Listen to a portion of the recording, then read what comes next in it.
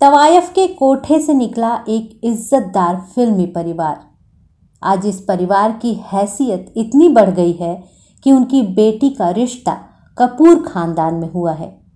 वही कपूर खानदान जिसने तवायफ की बेटी होने के कारण नरगिस को अपनाने से इनकार कर दिया था। गम का फसाना किसको सुनाए टूटा हुआ दिल इस परिवार के मुखिया ने 40-50 के दशक में लिव इन में रहना स्वीकार किया था।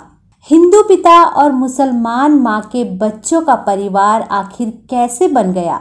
बॉलीवुड का नामी परिवार। लो चाहे उल्फत हो गया।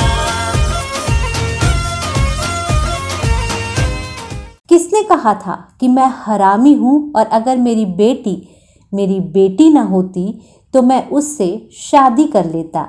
मिलते मिलते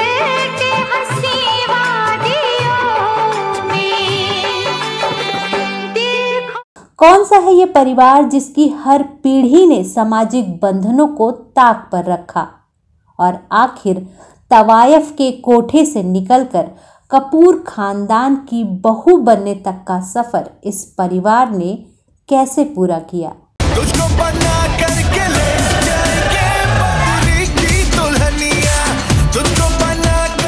यही सब हम आपको आज बताएँगे पर अभी तक अगर आपने हमारे चैनल को सब्सक्राइब नहीं किया है तो सब्सक्राइब कर लीजिए और बेल आइकन को दबा दीजिए ताकि हमारे सारे नोटिफिकेशन आप तक आसानी से पहुँच सके।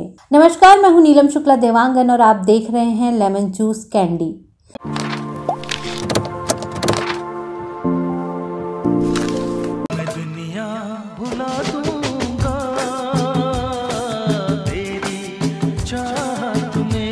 तो हम बात कर रहे हैं बदनाम गलियों से निकले एक नामी खानदान की। कहते हैं इंसान की हैसियत उसका रुतबा। पैसा बदल कर रख देता है और इस परिवार के साथ भी कुछ ऐसा ही हुआ।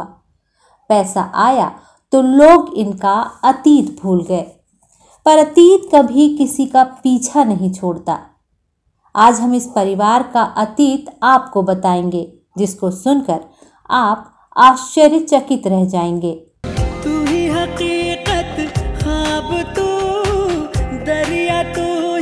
परिवार कोई और नहीं कपूर खानदान का ताज़ा ताज़ा समधी बना भट्ट परिवार है।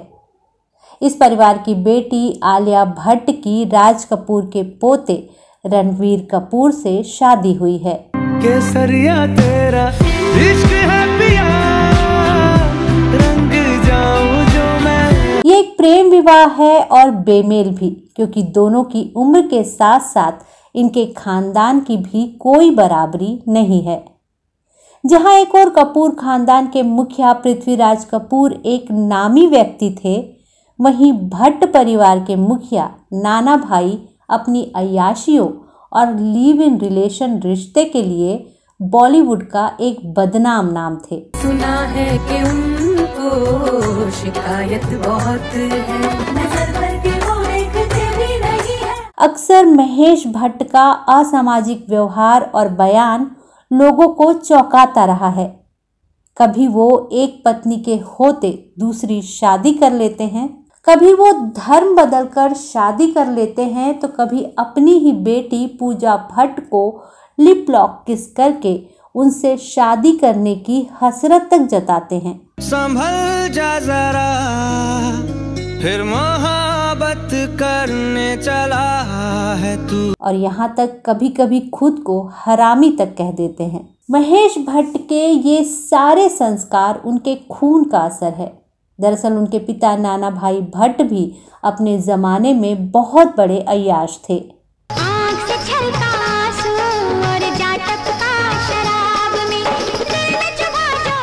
उनकी फ़िल्मों से ज़्यादा फिल्मी गलियारे में उनके और उनकी रखेल के अयाशी के किस्से कहे सुने जाते थे। और नाना भाई का ये व्यवहार भी उनके ही खून की बदौलत था। दरअसल फिल्मी गलियारे की खबरों की माने तो नाना भाई भट्ट की माँ तवायफ थी और पिता तवायफों के दलाल। सच कहूँ तो आपसे ज़्यादा इज़्ज़त है हमारे पास। पूछो कैसे? आपकी इज़्ज़त एक बार गई तो गई। हम तो रोज रात को इज़्ज़त बेचती है। साली खत्म हीच नहीं नाना भाई के माता पिता में प्रेम हुआ और उनके प्रेम की निशानी बने नाना भाई। बाद में नाना भाई की माँ कोठे की मालकिन बन गई।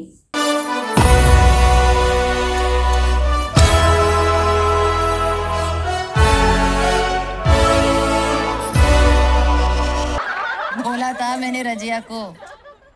सीधा घर में घुसूँगी। लो, घुस गए नाना भाई का शुरुआती जीवन कोठे पर ही बीता। बाद में 22 साल की उम्र में वो बॉलीवुड में किस्मत आजमाने आ गए। 1937 में उन्होंने बॉलीवुड में स्क्रिप्ट राइटर के तौर पर कदम रखा था। 1940 की दशक में नाना भाई ने साउंड रिकॉर्डिस्ट से डायरेक्शन की दुनिया में कदम रखा। 1946 में उन्होंने दीपक पिक्चर्स की नींव रखी। नाना भाई ने हेमलता नाम की महिला से शादी की थी जिनके पुत्र फिल्मी लेखक रॉबिन भट्ट हैं। करने वालों को जब जब दुनिया तड़पाएगी इसके बाद नाना भाई का नाम एक्ट्रेस शिरीन मोहम्मद अली से जुड़ा। शिरीन अपने जमाने की प्रसिद्ध अभिनेत्रियों में से एक थीं। उन्होंने मुंबई की सेठानी शमशीर अरब और पासिंग शो जैसे अनेक फ़िल्मों में काम किया। अभिनय के दौरान ही उनके फ़िल्म निर्माता नाना भाई उर्फ़ बटुक भट्ट से मुलाकात हुई और दोनों में प्रेम हो गया। जिया धड़क धड़क जिया धड़क धड़क जिया धड़क धड़क जाए। कहते हैं दोनों के किस्से उन दिनों फिल्मी गलियारे में लोग खूब चटखारे लेकर कहा सुना करते थे। लोग दबी ज़ुबान में शीरीन को नाना भाई की रखेल तक कहा करते थे क्योंकि नाना भाई और शीरीन बिना शादी के एक दूसरे के साथ रहते थे। हम तेरे बिन अब रह नहीं सकते।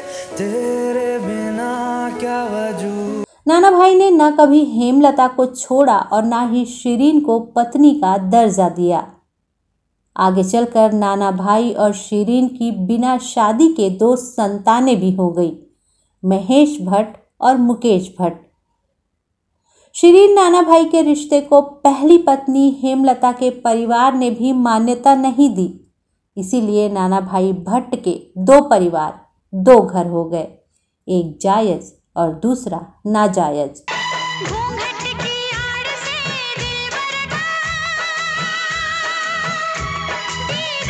नाना भाई भट्ट ने भी इंडस्ट्री में खूब नाम और पैसा कमाया। साल उन्नीस सौ सत्तावन में आई मिस्टर एक्स और उन्नीस सौ उनसठ में आई फ़िल्म कंगन उनकी नामी फ़िल्में रहीं। बॉलीवुड में डबल रोल का कॉन्सेप्ट भी नाना भाई भट्ट लेकर आए थे। उन्होंने इसकी शुरुआत 1942 में मुकाबला फ़िल्म से की थी। जो चाहे सजा देना। उस समय के लिए कॉन्सेप्ट काफ़ी नया था और अलग भी, जो लोगों को खूब पसंद आया। नाना भाई भट्ट ने हिंदी और गुजराती दोनों को मिलाकर लगभग सौ फ़िल्में बनाई और बहुत सारा पैसा कमाया। और इसी पैसे की बदौलत लोग उनका अतीत भूलने लगे। नाना भाई और हेमलता के सात बच्चे थे। वहीं नाना भाई और शिरीन के दो बच्चे थे, महेश भट्ट और मुकेश भट्ट। दोनों ही फ़िल्म इंडस्ट्री का जाना पहचाना नाम है।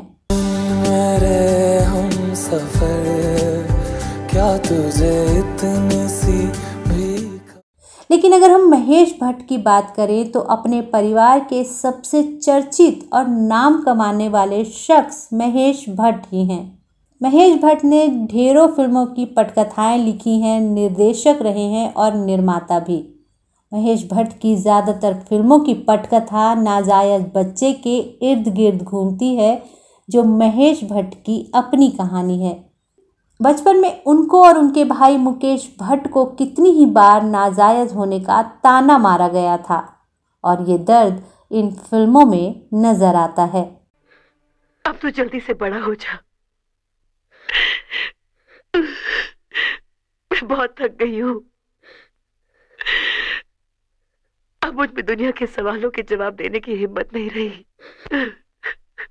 कहते हैं, इंसान अपने अतीत में हुई गलतियों को देखकर सीखता है और वही गलतियाँ दोहराता नहीं है।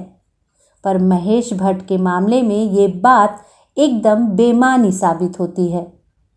भले ही महेश भट्ट अपने पिता, नाना भाई से नफरत करते हों और गाहे बगाहे पब्लिक प्लेटफॉर्म पर इस बात को दोहराते भी रहे हों पर उन्होंने अपना जीवन अपने पिता की भांति ही बिताया है। तू प्यार है किसी और का तुझे चाहता।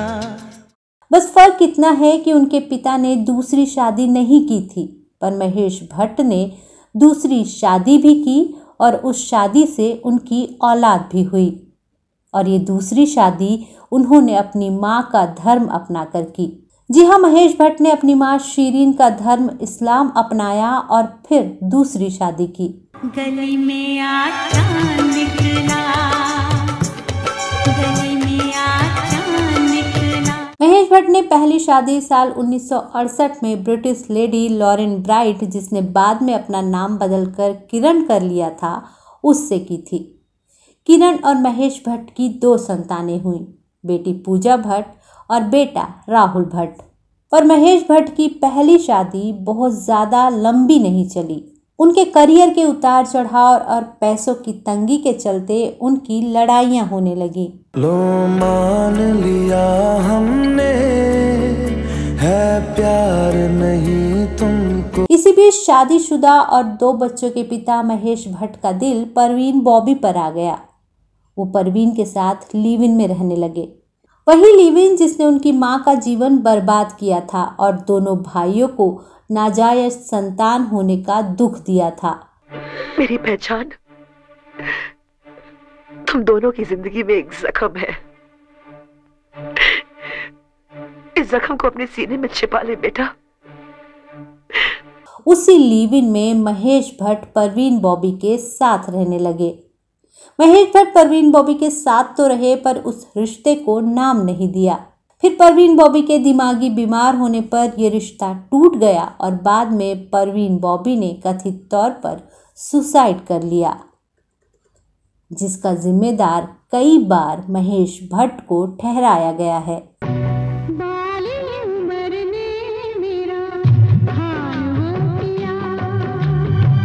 परवीन के बाद भी महेश भट्ट वहीं रुके नहीं। उसके बाद उनका दिल आया सोनी राजदान पर। फ़िल्म सारांश की शूटिंग के दौरान उनकी मुलाकात सोनी राजदान से हुई जो एक ब्रिटिश एक्ट्रेस थी। और अगर पूछेंगे भी तो कुछ और कह देंगे कि तुम कोई स्टेनो हो मॉडल। नहीं विलास झूठ बोलने की कोई ज़रूरत नहीं। और ये भी नहीं कहना कि तुम मेरे दूर के रिश्तेदार हो। सच सच बता देना कि तुम मेरे बॉयफ्रेंड हो और जल्द ही मुझसे शादी करने वाले हो। जब उनका दिल सोनी राजदान पर आ गया तो उन्होंने सोनी राजदान से शादी करने की सोची।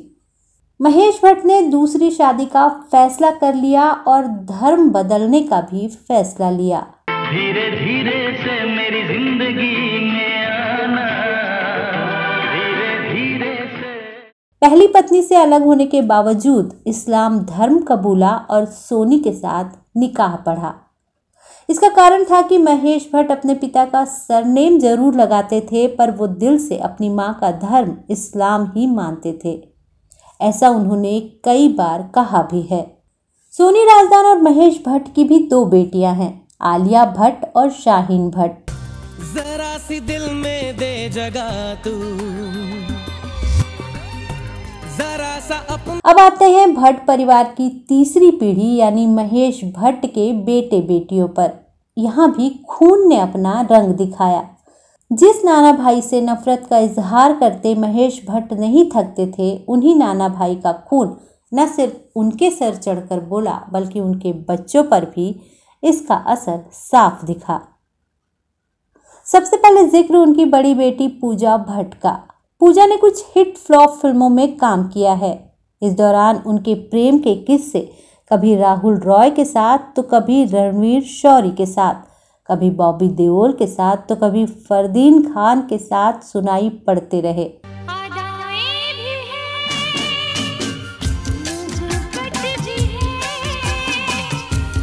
इसके अलावा भी कई स्टार्स हैं जिनके साथ पूजा भट्ट का नाम जुड़ा।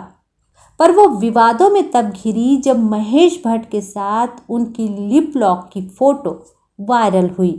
वक्त कटे नहीं कटता है तेरे बिना मेरे साजन बेटी के साथ आपत्तिजनक फ़ोटो पर शर्मिंदा होने की जगह महेश ने बहुत ही विवादित बयान दिया।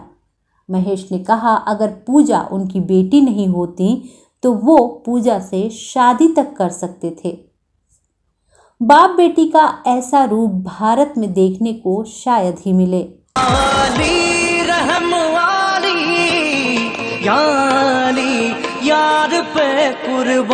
बाद में पूजा भट्ट ने मनीष मखीजा से शादी भी की पर उनका रिश्ता चल नहीं पाया और 11 साल के बाद 2014 में दोनों अलग हो गए। हमारी अधूरी कहानी। मैं हरामी हूँ। मेरी बेटी अगर मेरी बेटी ना होती तो मैं उससे शादी कर लेता।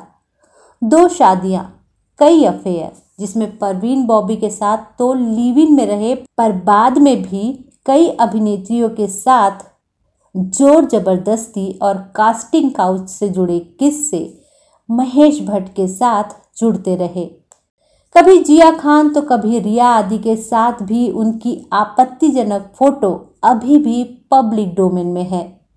भट्ट परिवार में चाहे वो नाना भाई भट्ट हों, महेश भट्ट हों या पूजा भट्ट, किसी ने भी सामाजिक मर्यादाओं का पालन नहीं किया। पैसा कमाकर नाना भाई ने तवायफ के बेटे होने का कलंक अपने माथे से धो दिया और पैसे के बल पर ही नाना भाई की नाजायज संतान मुकेश भट्ट और महेश भट्ट ने फिल्मी दुनिया में बड़ा नाम कमाया। इतना बड़ा नाम कि कपूर खानदान जैसा बड़ा खानदान उनके घर की बेटी से अपनी रिश्तेदारी जोड़ रहा है। बाबा मैं तेरी मलका टुकड़ा हूँ तेरे दिल का। एक बार फिर से इसीलिए कहा गया है कि पैसा सारी कहानी पलट कर रख देता है। तो आपको हमारी ये स्टोरी कैसे लगी हमें कमेंट्स में बताएँ। आज की वीडियो में बस इतना ही। अब मुझे यानी अपनी दोस्त और होस्ट नीलम शुक्ला देवांगन को दीजिए इजाज़त। नमस्कार।